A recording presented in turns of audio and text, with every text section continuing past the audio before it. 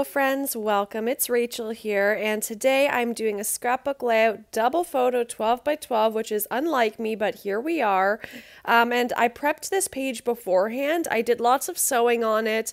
I wanted a little bit of texture on this page. I think it would look great with doing hand stitching but I don't quite have the patience for that yet. So I used my sewing machine but I really like this. I was going to do kind of like color coded um, threads, but I have done that before and I like the way it looks, but I thought maybe a white would stand out a little bit more. Um, and I like it. It's not like super bold or anything, but it gives some really great texture to the page.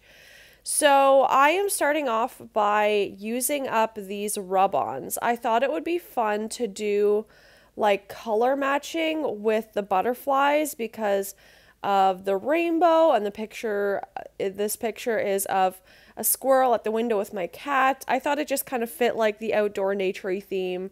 And I know it's February right now, but I don't know. It's it's fine with me.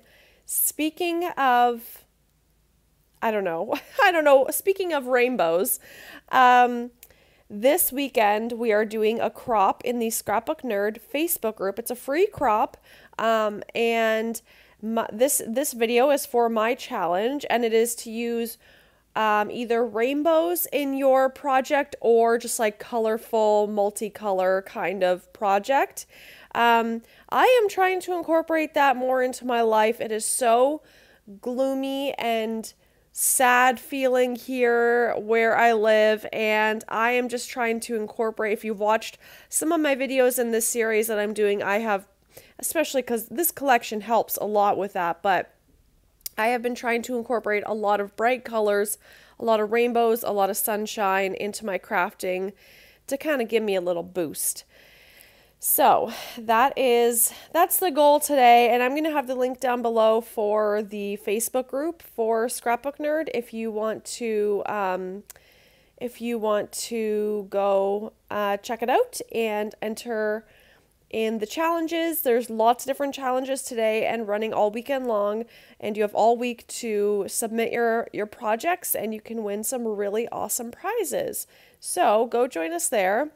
Um, but yeah, as you can see, I'm just kind of kind of uh, matching these butterflies and birds with the different parts of the rainbow. And they're not perfect color matches by any means, but um, just kind of doing kind of vague-ish color matches and I think it looks really cool. I think it makes the page unique. Um, yeah, I try to, when I do layouts, to really customize the background paper if I'm using a background paper to kind of make it my own. And I think this looks pretty cool with the sewing and now these butterflies. I like it. So uh, this was a lot of fun to do. And I'm using my bone folder thingy to um, to scratch off the rub-ons on the page. And I think it looks really, really cool. And I don't know about this brand of rub ons in particular, but I know in the past with my experience with rub ons, they're not really a product that lasts years and years. So they're not really something you're going to want to hoard. They're something you, a product you want to use. So I recommend, by the way, thumbs up because I used up the entire pack. And if you know me, I like to use things up. So that's exciting.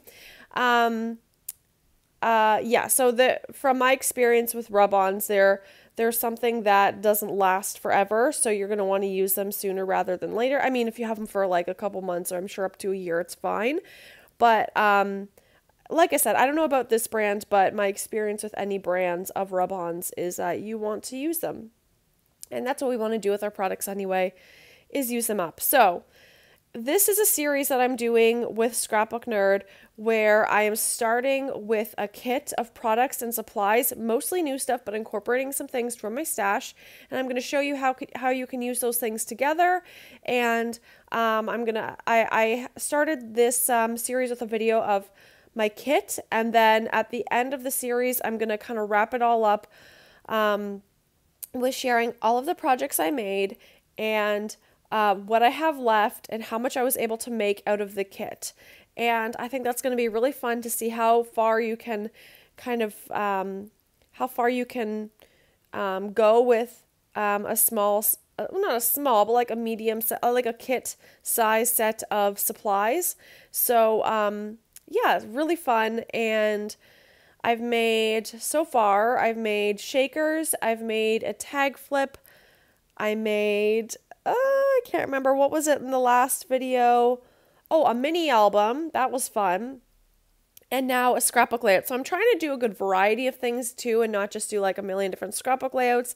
Trying to show you how you can use these to make so many different kinds of projects. So, anyway, that's my little introduction to my long introduction to this project, this series. Oh, I also used up those stars. I had taken that from my stash to put in the kit. These little stars, I had three left, and I just thought I'd match the colors.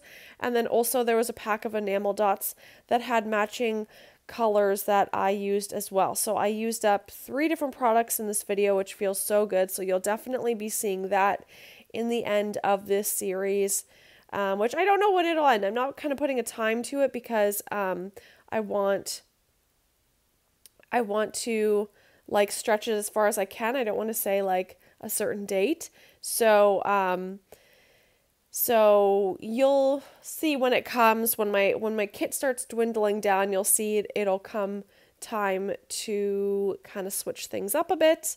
Um, I have two ephemera packs that I'm using, the floral pack and the regular ephemera pack. So um, there's still lots of supplies in there for me to use. So I'm sure this will get me a good chunk of pro- projects done. I'm not going to use it till I have nothing left, but I'm going to use it till I feel like I.